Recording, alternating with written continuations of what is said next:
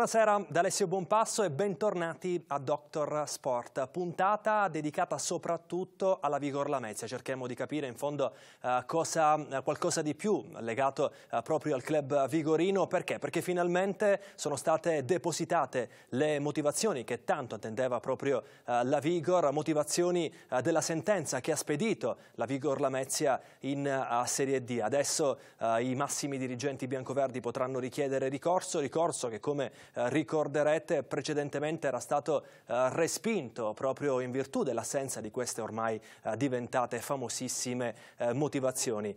I dirigenti, sono, dirigenti biancoverdi sono dovuti proprio volare d'urgenza a Roma per presentare questo ricorso. Doveva essere con noi il presidente della Vigor, Gianni Torcasio, che però sentiremo in via telefonica. E allora, però prima di iniziare facciamo il punto in questo servizio i dettagli proprio legati alla situazione aggiornatissima sulla Vigor. Sono state finalmente rese note le motivazioni che hanno portato la Corte d'Appello a ribaltare la sentenza di primo grado che aveva a suo tempo assolto la Vigor Lamezia nell'ambito del processo Dirty Soccer. Per i giudici, dalle intercettazioni che riguardano la partita Vigore Lamezia Paganese, svoltasi lo scorso 12 aprile, sarebbe emerso che sia il presidente che il direttore sportivo della squadra erano coinvolti ed abbiano in primo tempo aderito alla proposta di alterare l'esito della gara, poi rinunciando per la presenza di terzi soggetti di cui non avrebbero avuto fiducia. Per loro vale anche l'imputazione di non avere denunciato agli organi federali competenti quanto stava accadendo. Per la partita del 19 aprile che vide i biancoverdi sfidarsi con il Barletta, per la Corte d'Appello le motivazioni sarebbero simili. Nella sentenza si legge testualmente che le emergenze probatorie offerte dalla Procura federale rivelerebbero inequivocabilmente non solo la conoscenza da parte dei due dirigenti lametini dell'attività illecita posta in essere da Bellini con il mister del Barletta Corda, ma anche una loro fattiva e concreta disponibilità a consentire la realizzazione della combine. Intanto i dirigenti della Vigor sono già in partenza per Roma per presentare ricorso al CONI. Insomma, queste le ultimissime novità legate proprio alla Vigor Lamezia. Dicevamo Vigor Lamezia che insieme ai suoi dirigenti ovviamente è dovuta volare d'urgenza a Roma per andare a presentare questo nuovo ricorso. In collegamento telefonico dovremmo avere il presidente del club biancoverde Gianni Torcasio. Buonasera. Buonasera, buonasera a tutti voi. Presidente, insomma, siete già a Roma per presentare questo ricorso alla luce insomma, anche delle eh, motivazioni tanto attese che attendevate appunto eh, da diverso tempo. Sì, sì. Motivazioni che finalmente ieri sera sono arrivate con, con un bel po' di ritardo, eh, motivazioni che stiamo cercando ancora di capire, francamente io ancora non le ho capite. Perché non le ha capite? Veramente ci sono perché c'è qualcosa di discordante in queste motivazioni, cioè nel senso che dicono l'opposto del primo grado di giudizio, eh, sono un po' confusionarie queste motivazioni, per cui stiamo facendo ricorso d'urgenza, penso che è un qualcosa che io eh, in qualità di precedente devo farlo per il rispetto della mia società, ma soprattutto per il rispetto di una piazza intera che ehm, non meritava questo trattamento eh, è giusto che si facciano tutti i tentativi possibili e immaginabili, poi arriveremo sicuramente fin dove si può arrivare. Certo, i miracoli non si possono avere, però devo essere sincero, sono molto fiducioso in merito. Diceva, accennava insomma, ai pareri discordanti, pareri discordanti diciamo in maniera anche clamorosa tra primo e secondo grado, appunto eh, il primo grado insomma, che aveva salvato in qualche modo la Vigor Lamezia eh, dando eh, soltanto 5 punti però lasciando la Lega Pro e poi invece eh, l'appello con la ehm, retrocessione in Serie D. Pareri davvero discordanti e se vogliamo clamorosi. Guardi, pareri che in un primo grado oh, ci ridavano parzialmente la giustizia, seppur con 5 punti di penalizzazione, però eravamo convinti che nel secondo grado avremmo eliminato questi 5 punti di penalizzazione. Eh, così purtroppo non è stato, cioè, eh, da che mondo è mondo in un secondo grado di giudizio eh, tendenzialmente si va a ammorbidire eh, la sentenza di primo grado. Eh, cosa, fatto storico contro di noi, così non è stato. Cioè il secondo grado ha ribaltato completamente il primo grado eh, con delle spiegazioni che a dir poco, cioè con delle supposizioni, perché se lei si va a leggere le motivazioni, ancora ad oggi noi non capiamo dove c'è una prova contro la regolamento che abbia commesso un illecito. Però purtroppo ci troviamo in Serie B, ci troviamo in una situazione veramente anomala, una situazione da non capire che squadra uh, preparare, perché ancora oggi non abbiamo nessuna squadra, abbiamo due format di squadre pronti sulla carta, una per la Lega Pro, una per la Serie B, che ovviamente stiamo aspettando prima di mettere sotto contratto, perché lei capisce che sono, tra Serie B e Lega Pro purtroppo sono dei giocatori eh, completamente diversi tra di loro. È chiaro, è chiaro, insomma, è davvero una situazione paradossale. Voi intanto avete eh, riposato domenica scorsa, quando di fatto sono già iniziati i campionati sia di Lega Pro che di uh, Serie D. C'è una partita, quella con il Gragnano, insomma, domenica prossima. E che fa la Vigor? Sì. Guardi, la Vigora allo stato attuale si deve presentare a Gragnano per disputare questa partita. Eh, lo dico con molta franchezza che qualora ci dovessimo presentare ci presenteremo con una squadra juniores, la cosiddetta Beretti, perché allo stato attuale la Vigora non ha giocatori sotto contratto di prima squadra. È pur vero che abbiamo chiesto e stiamo chiedendo in tutti i modi di poterla rinviare questa partita. Eh, perché, È intervenuto anche il sindaco. Ah, non abbiamo squadra. È intervenuto il sindaco, ma il problema vero è che non abbiamo squadra non abbiamo allenatore, eh, abbiamo un, un, un, giudizio che ancora ci deve giudicare, cioè che è il CONI, il Collegio di Garanzia del CONI. Eh, al Messina, che è la nostra controparte, è stata rinviata la partita, quindi per par condicio dovrebbe toccare anche a noi rinviarla, eh, per cui stiamo cercando e speriamo di poterla rinviare. Eh, stiamo provando tutte le strade possibili e immaginabili, anche perché poi c'è molta pressione sulla messe, per cui se io faccio partire la squadra sabato per la trasferta di domenica, eh, la piazza mi preme in modo particolare, cioè nel senso, certo. mi, mi, creeranno problemi, questo, di questo ne sono convinto, perché si capisce che quella è una sconfitta, cioè andare a giocare in Serie B e, e vuol dire accettare la Serie B, cosa che non è ad oggi campionato di nostra competenza, il nostro campionato di competenza è la Lega Pro. Poi purtroppo per motivi burocratici, cartacei, ci hanno portato in Serie B. Senta Presidente, ha già raggiunto la capitale? Sì, sì, sì. sì. Quali sono le ultimissime, anche diciamo, eh, ascoltando i primi, i primi, pareri? Insomma, ma guardi, tra poco, tra poco ci sarà un briefing degli avvocati nostri, che abbiamo più avvocati che stanno al fianco del nostro avvocato Chiacchio, che è quello che inizialmente ci ha seguito, poi abbiamo un altro avvocato penalista calabrese e altri due studi di Roma che stanno cercando un po' di, di, di leggere tutti insieme le varie motivazioni per cercare di poter presentare un ricorso, un ricorso adeguato um, alla causa. Su cosa si per baserà cui, se possiamo chiederglielo? Sì, su cosa si baserà se possiamo chiederglielo la difesa della Vigor in questo ricorso? Si baserà semplicemente nello smontare le motivazioni. Sono delle motivazioni che non stanno né in cielo né in terra. Non c'è una prova, noi ci danno una diretta su una partita pagamese eh, di Gollamezia, dove non c'è nessun giocatore coinvolto, nessun tesserato della Paganese coinvolto, eh, nessun allenatore, nessun massaggiatore, nessun racchettapatte. Eh, non c'è una telefonata che possa dire tutto questo, però ci condannano perché per supposizioni noi avremmo accettato la eh, vittoria della Paganese, quindi il 2 in quella partita, quando guarda caso quella partita combinazione è finita X. Vero, cui, vero. Anche, volendo, anche volendo, voglio dire, eh, se vogliamo parlare di combin, eh, su un 2 la partita è finita X. La partita in campo la fanno i calciatori, gli attori sono i calciatori, senza calciatori non se ne fanno partite, questa è la giustizia deve capire. Le partite non si fanno per come si dicono, le partite non si fanno punto e basta. Va bene Presidente, noi speriamo insomma anche... Le, par le, parlo molto, le, parlo con molto, rammarico perché veramente... Apprezziamo, apprezziamo. Di, di, di, stanchezza che mi porto dietro eh, e sono sul, sull'ollo dell'esasperazione ora, ma veramente dell'esasperazione. Cioè voler rovinare una città senza una prova certa è veramente, è veramente lo scandalo. Però, Insomma, speriamo per la Vigora insomma, che arrivino notizie positive. Nel frattempo eh, la salutiamo e la ringraziamo, Presidente Torchiasi. Grazie a voi tutti, buon pomeriggio. La saluto.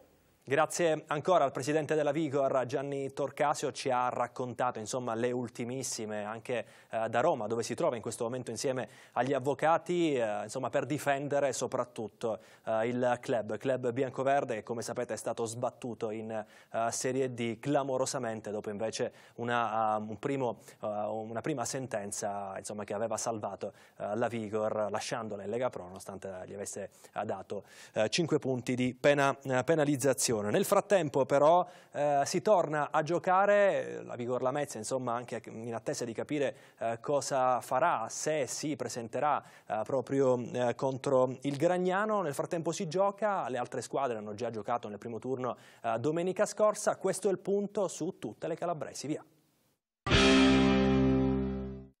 La sfangata alla prima con la Frattese, ma è difficile che la Vigor Lamezia possa rinviare anche l'impegno di domenica prossima in casa del Gragnano. Per la nuova regina, che si consola con ben 2600 abbonamenti già in cassa, prioritario invece riscattare la sconfitta all'esordio con la Versa. Al Granillo arriva la Sarnese, mentre la squadra è costretta a improvvisarsi nomade tra Cittanova e Polistena, non riuscendo a reperire in città una struttura idonea per gli allenamenti. Clima diverso per la Vibonese, che testa con la Juniores di Fortunato D'Amico i meccanismi in vista dell'esordio casalingo in campionato contro il Marsala. Rientreranno tre pezzi da 90 per lo scacchiere rossoblù, Ruscio, Allegretti e Castaldo, assenti per squalifica nel big match di domenica scorsa a Rende.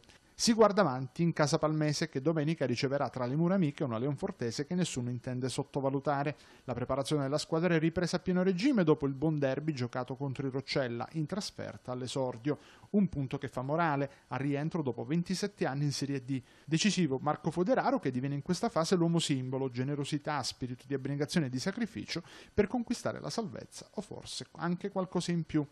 Un test probante attende anche il Rende che si appresta a rendere visita all'Ostica Frattese e per i biancorossi sarà un'ardua impresa riscattare la sconfitta della prima a Lorenzon con la Vibonese anche per il Roccella, trasferta in terra campana in quel di Agropoli, anche qui una bolgia.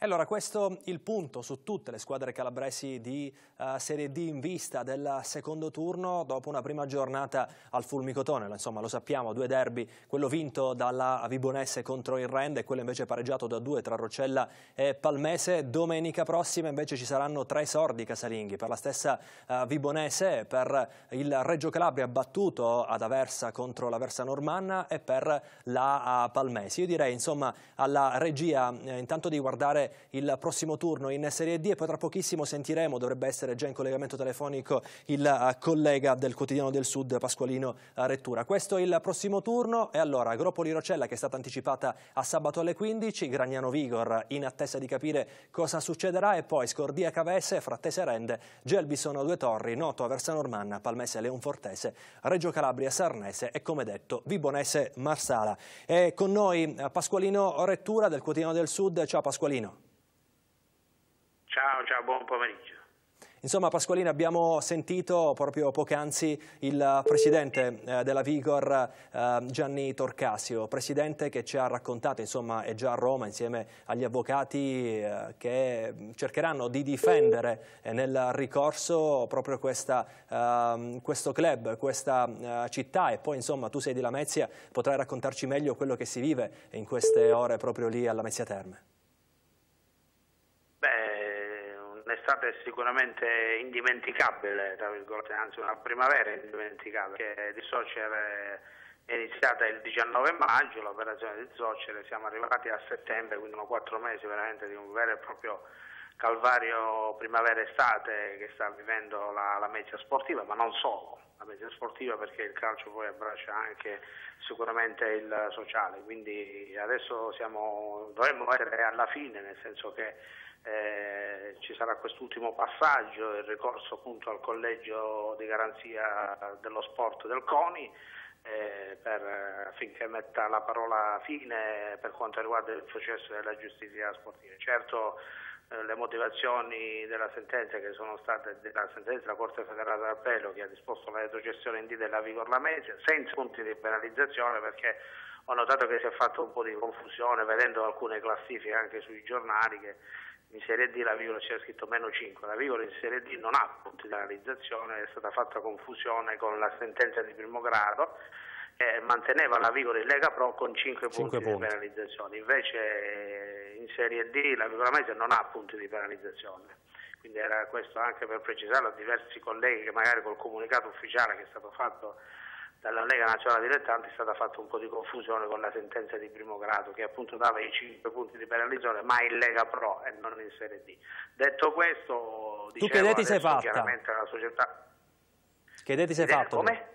Che idea ti sei fatto tu su questa situazione? Sulla, sul, su questa situazione è che sicuramente c'è un danno soprattutto tecnico perché la Mezza domenica dovrà giocare a Gragnano ma non, non, non c'è una squadra, c'è solo la formazione Berretti, juniore che si sta creando, quindi con ogni probabilità si andrà a giocare a Gragnano con la Sì, ce l'ha confermato, ce l'ha confermato lo stesso presidente Torcasi, ha detto se dobbiamo andare andremo, è eh, chiaro dirlo, con la juniores, con la Berretti. Eh, quindi già un danno è stato fatto perché non è stato fatto un ritiro, eh, come detto l'allenatore Erra non c'è, è andato via perché con questa situazione sicuramente era difficile restare, i giocatori che erano stati presi dopo la sentenza del programma sono andati tutti via, quindi c'è già un danno da questo punto di vista, già la prima giornata alla Mezia, eh, la Vigola Mezia non ha giocato il 6 settembre, quindi voglio dire da questo punto di vista c'è un grosso danno per la città sportiva e non solo, ripeto. Quindi adesso è chiaro che leggendo un po' le motivazioni eh, della sentenza della Corte Federale d'Appello mi pare che è una cosa che ancora è tutta da dire, definire, quindi a mio avviso da quello che ho potuto leggere si può tentare di fare quest'ultimo, quest'ultimo disperato ricorso al CONE, sarà sicuramente fatto e io credo che ci sono, ci sono i margini affinché questo possa essere ributtato.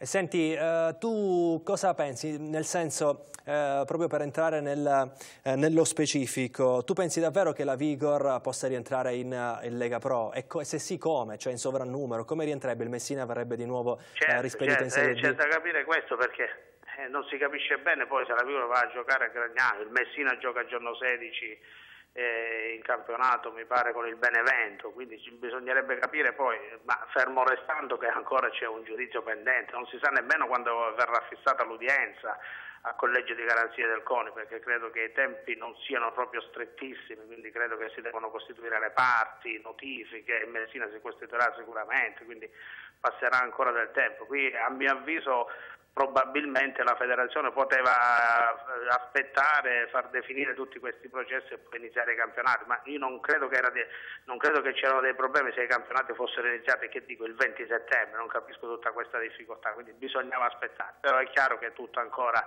deve essere deciso da queste, perché ricordiamoci che la, la, le sentenze non riguardano solo la Vigorna Mezza, ma ci sono anche il Teramo e la Torres, quindi veramente... Esatto sicuramente siamo al paradosso, però eh, non si capisce bene cosa può succedere dopo nel caso in cui queste sentenze dovessero essere ribaltate. E, e può succedere di tutto eh, e sicuramente anche un po' di fretta, troppa fretta ha avuto la federazione a far partire i campionati. Bisognava aspettare tutti i gradi di giudizio, questa è una mia, una mia idea. Insomma. È un po' quello che abbiamo pensato tutti noi addetti ai lavori. Grazie Pasqualino, buon lavoro. Buon lavoro pure a voi, grazie. Ringraziamo ancora Pasqualino Rettura del Quotidiano del Sud, ci ha raccontato insomma, il punto di vista anche di chi come lui eh, vive alla Mezzia Terme e un po' sente eh, i sentimenti della eh, tifoseria. C'è però un'altra questione in Calabria legata anche qui alla, alla Lega Pro che ultime, negli ultimi giorni, nelle ultime ore è proprio scoppiata. Le ultimissime dichiarazioni del presidente del Catanzaro Giuseppe Cosentino che ha detto a giugno vado via poi rientrando oggi spiegando insomma, anche meglio quello che voleva dire. Sentite. Saggio, Sergio Abramo ci mette una toppa. Le contestazioni non sono una novità, spiega da un lato il sindaco di Catanzaro che si mostra sensibile ai tifosi. Però non è giusto dimenticare lo sforzo finanziario prodotto in questi anni dal presidente Cosentino. Media, Abramo, dopo l'annuncio shock del patron delle Aquile, che appena 24 ore prima aveva detto lascio invitando altri a farsi avanti e annunciando che a fine stagione, onorando tutti gli impegni, avrebbe consegnato la squadra al primo inquilino di Palazzo dei Nobili. La posizione espressa da Abramo non fa rientrare Cosentino dai suoi propositi, che in premessa, rispondendo, ribadisce quanto gli abbia fatto male la contestazione subita dai tifosi e la sua determinazione a lasciare, D'altro canto, lo stesso Cosentino pone come condizione essenziale, proprio per l'amore che nutre per il Catanzaro, la cessione del timone a uno o più imprenditori che possano traghettare le aquile nei nidi sicuri che il blasone della storia e delle maglie giallorosse meritano. Insomma, per dirla con Cosentino, gente in grado di garantire un percorso all'altezza del blasone e delle aspettative della piazza. E allora questo è il servizio che ci ha raccontato un po' quello che si è vissuto nelle ultimissime ore a Catanzaro. In collegamento telefonico la collega Rosita Mercatante di catanzarosport24.it. Rosita, insomma, Cosentino lascia o non lascia? Ciao. Eh, buonasera a tutti. Eh, sì, eh, le sue parole sono state abbastanza decise e sembra irremovibile ormai la decisione di andare via dopo quanto è accaduto. Eh, a differenza di tutte le altre volte, questa volta il Presidente Cosentino ha anche aspettato prima di parlare con la stampa, quindi sembra una decisione abbastanza ponderata.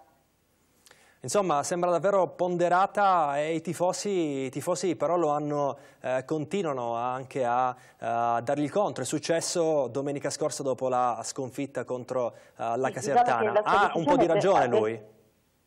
Sì, la sua decisione è venuta proprio dopo questa contestazione eh, a fine gara con la Casertana e, e anche se in questi giorni, dopo la diffusione della notizia, dobbiamo anche dire che sul nostro portale sono arrivate tantissime eh, lettere da parte di tifosi che continuano invece a sostenere Cosentino e a ricordare quello che il Presidente ha fatto per il Catanzaro, quindi diciamo che eh, i tifosi sono forse divisi in, uh, in, due parti, un po' c'è chi continua a ricordare l'operato del Presidente Cosentino e della famiglia Cosentino, c'è chi invece non ha apprezzato la sua scelta eh, societaria, soprattutto quella di quest'anno. C'è da ricordare anche insomma, che Giuseppe Cosentino ha fatto uh, rinascere il calcio al Catanzaro dopo un sanguinario uh, fallimento. Ha detto, si è parlato anche di cifre, 20 milioni uh, di euro in questi, in questi anni. Sì, sì, sì, esatto, eh, ha risollevato una situazione che veramente non aveva altra via d'uscita e questo bisogna riconoscerglielo, come bisogna riconoscergli comunque l'impegno che ha sempre dimostrato e la coerenza che ha dimostrato anche nel fatto che quest'anno aveva già detto che non avrebbe fatto una squadra mazza campionato, non aveva dato illusioni o non aveva gettato fumo negli occhi dei tifosi, ma aveva già detto che sarebbe andato con i piedi di piombo e che si sarebbe fatto tutto nella in completa tranquillità, quindi anche da questo punto di vista bisognerebbe apprezzare.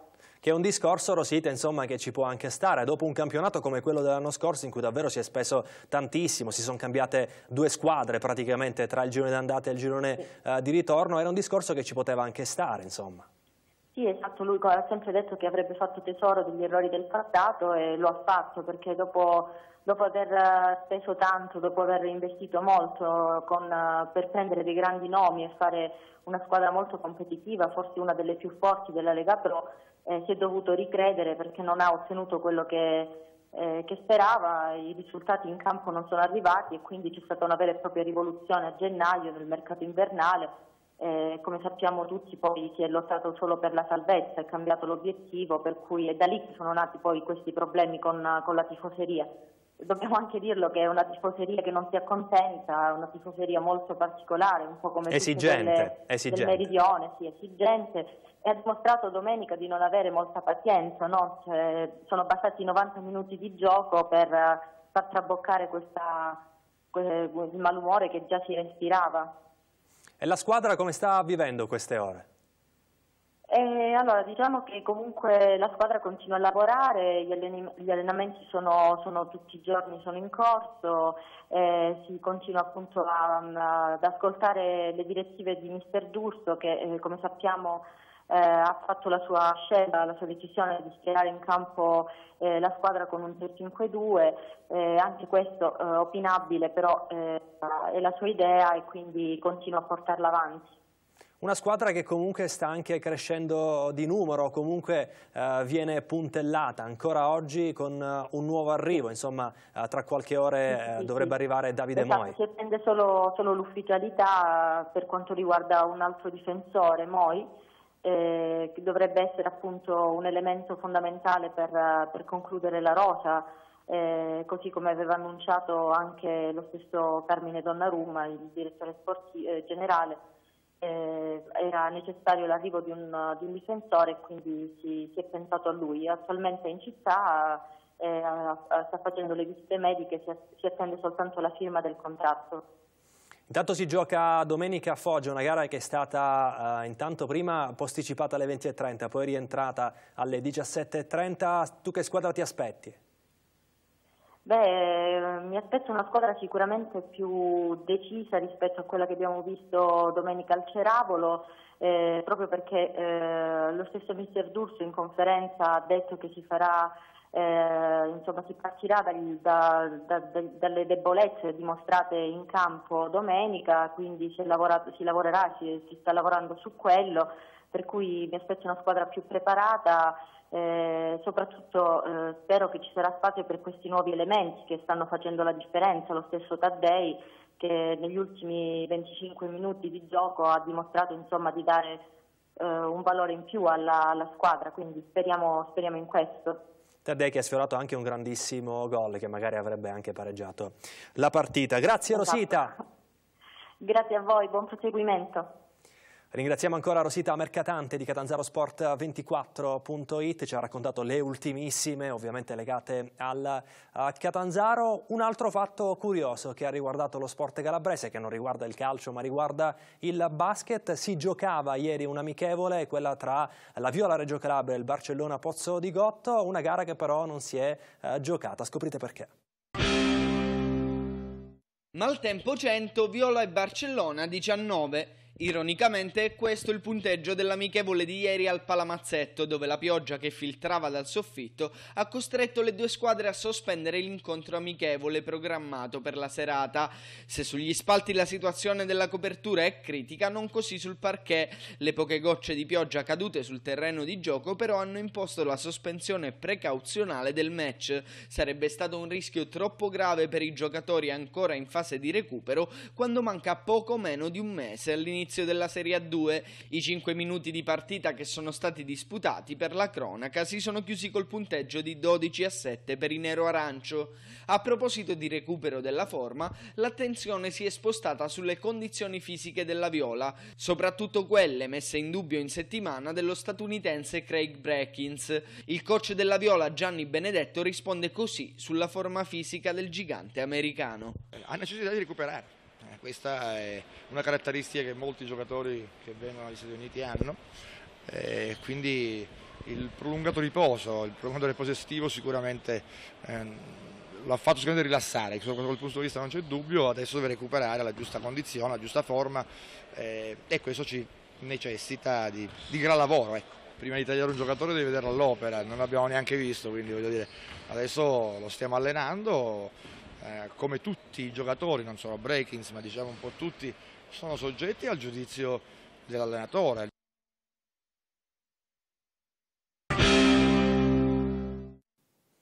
Insomma, volevamo raccontarvi anche le ultimissime legate al basket, legate soprattutto alla Viola uh, Reggio Calabria, troppa pioggia per uh, la sfida eh, per l'amichevole contro il Barcellona, insomma una gara rinviata a data destinarsi, aspettando ovviamente il campionato. E poi abbiamo sentito anche il tecnico nero-arancio parlare della condizione fisica di qualche suo giocatore. Questa era l'ultima notizia, però ultimissima, legata alla Serie D, squalificati per tre gare Manolo Mosciaro del Cosenza e per due turni invece Roselli del Reggio Calabria. Entrambi erano stati espulsi proprio nella prima giornata di campionato. Bene così abbiamo ultimato il nostro tempo a disposizione. Grazie per averci preferito. Doctor Sport ovviamente tornerà puntuale domani alle 19.30. Buona serata, Alessio Buonpasso.